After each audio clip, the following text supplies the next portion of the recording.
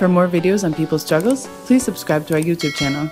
Hello and welcome to Around the World in 8 Minutes, a show by People's Dispatch. In this show, we bring you stories from around the world of people resisting capitalism and imperialism and struggling for a better life and a better society.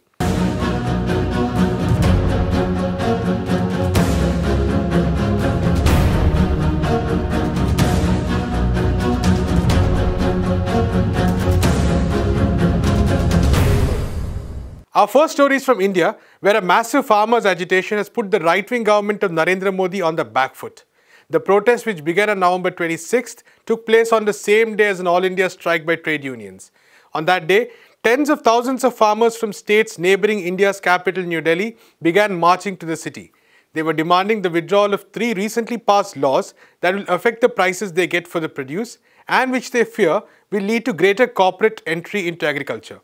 The police and the authorities over the days tried to stop the farmers with barricades and blockades, but to no avail, as the farmers continue to march ahead to the borders of Delhi. The central government, which controls Delhi's law and order, tried to get the farmers to occupy a ground in the corner of the city, but the farmers refused and said that they would stay put on the borders and would not return home until these laws were repealed. The government was forced to concede to early talks, and the third round of discussions is being held on Saturday, December 5th, as we record this program.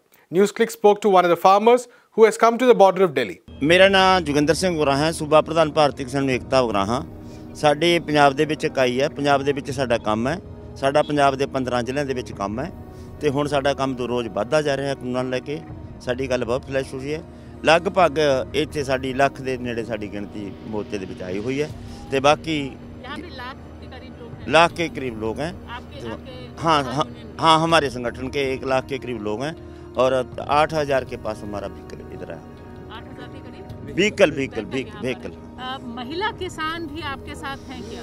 सबसे ज़्यादा महिला किसान हमारे साथ है। इस मोर्चे में हमारे महिला किसान की छब्बीस हज़ार की गिनती थी हमारे जो अभी वापस चली गई।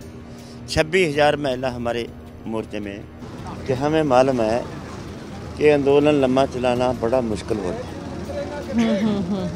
इकोनॉमिक तरफ़ से भी लोगों के काम की तरफ़ से भी थक भी जाते हैं अक भी जाते हैं। अब देखिए भी तकरीबन पंद्रह सितंबर से जी। आज तक कंटिन्यू मोर्चा में कंटिन्यू। आज तक दुनिया के इतिहास में लोगों से बड़ा कोई नहीं हुआ। इनसे जो इनका फैसला है वो कोई कोर्ट कोई अदालत उनको टाल नहीं सकती। We also spoke to Ashok Dhavle, the president of the All India Kisan Sabha. Or the All India Farmers Association. This is the largest leftist farmers organization in the country. An interesting part of this movement has been the united stand by farmers organizations across India. Together, hundreds of organizations have told the government in clear terms that they will not retreat from their demands. all the farmers bodies had given a call for a all India road blockade on the 26th of November. Now this happened in several thousands of places all over the country. Not only in Haryana and Punjab, but all over the country there was huge upsurge of farmers against these three farm acts. So therefore that is one major point that must be understood. Not only that, you see now after that we had given a call for intensification of the agitation all over the country. so right from 1st December, we are seeing all over the country huge actions are taking place. We had all given a joint call for big agitation. So there in Maharashtra and all over the country, thousands and thousands of farmers came on the streets even on the 3rd of December. So this is a nationwide struggle. The protest has also received a great amount of solidarity from across the country. Trade unions, student movements, and youth organizations have staged rallies across India. On December 8th, a countrywide strike has been called in support of the agitation. India's people are clearly out to demand justice and an end to the free hand that is being given to corporates. In our next story, we go to South Africa, where on December 3rd, members of the National Union of Metal Workers of South Africa, that's NUMSA, and the South Africa Cabin Crew Association picketed the SAA Airways Park. They were demanding the payment of the employees of South African Airways who have not been paid salaries for eight months now. The next day, the unions met with the airline management and representatives of the Department of Public Enterprises to resolve the issue. There is no update yet about the outcome of this meeting. The two unions had previously issued a statement saying that the Treasury had allocated money to the airline last month, but the workers have still not been paid, and the business rescue practitioners or the BRPs continue to earn millions in fees. The national airline was placed under the charge of the BRPs in December 2019 as it was thought to be on the verge of insolvency. However, the unions complained that it was because the corruption and theft that took place between 2016 and 2020 under the watch of the SAA board and the executives that the airline's financial condition plummeted. 3,000 of the 5,000 workers had to opt for voluntary severance packages as part of the business rescue plan in order to keep the airline afloat. The management at SAA is also attempting to unilaterally change the conditions of employment under threat of dismissal, the unions allege. Phakamile Hlubi Majola, the national spokesperson of NUMSA, tells us more about the conditions at the airline and the demands of the workers. The burning issue of why our members were protesting today is because they have not been paid. As most people know, in October, the Minister of Finance allocated 10.5 billion rand of the budget to SAA to date, our members have not been paid their salaries. We've been told that as of Monday, the Department of Public Enterprises uh, gave the BRPs an amount of uh, a billion rand, 1.5 billion rand.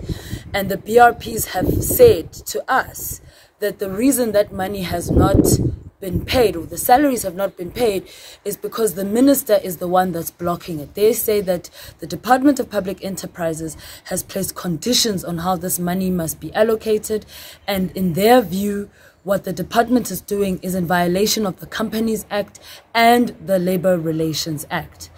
Now, as Numsa and SACCA, we don't know what these conditions are. No one has advised us or told us what they are. But if it's true, if what the BRPs are saying is true, then we have to say that we condemn the minister in the strongest terms possible because it would mean that what he's doing is unlawful. And not only is it unlawful, but it is also unfair. And on top of that, our members have gone for eight months and counting with no income whatsoever. They don't even know what kind of December holidays they're going to have as as we speak right now.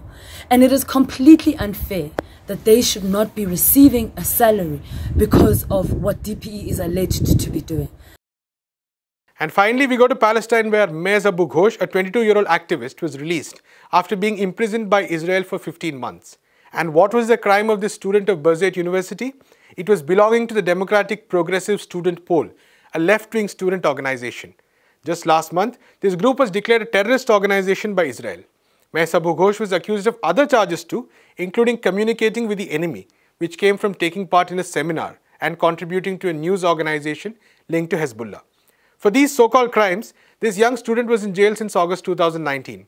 During her time in prison, she faced physical and psychological torture, including being slapped and forced into stress positions. According to media reports, she was also forced to listen to the screams of other prisoners being tortured.